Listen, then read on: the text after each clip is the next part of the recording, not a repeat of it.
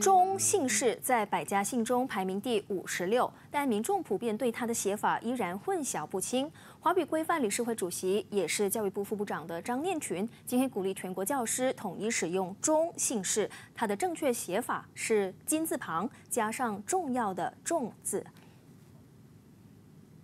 华语规范理事会主席张念群今天出席活动后表示，教育部决定接纳中式宗亲总会的建议，鼓励全国学校统一使用规范的中性式简体字，也就是金字旁再加上重字。张念群希望教师多加留意，因为目前仍有老师采用金字边再加上中间的中字作为中性式的简体字，所以今天就借着这样子的一个交流，呃，我们呃。嗯，因为字典上也已经是这么写了，所以我们就希望说，通过这样子的一个交流，希望说，呃，全国中小学的老师们注意，就是说，呃，中这个它的简体字的正确写法应该是金字边加上重要的重，而不是中间的重，因。过去几年，许多人都以为金字旁再加上中字的写法作为中性式的简体写法。然而，这样的写法其实是错误的。实际上，中国国务院早在二零一三年规范了中性式的简体写法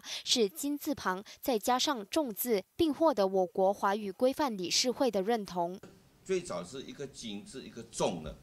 只是说在简体字出现了以后。在五十年代简体字出现了以后呢，才出现金字跟中，中国的中中间的中呢，是在简体字出现。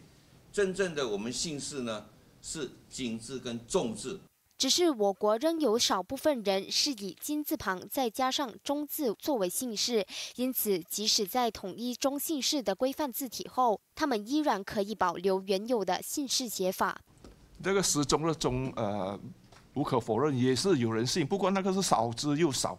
啊，是很很很例外的，很特别的，也有也有，但是很少很少。但是在马来西亚呢，我看没没有啊，没有，啊，台湾就有，台湾中国大陆也有一小部分啊。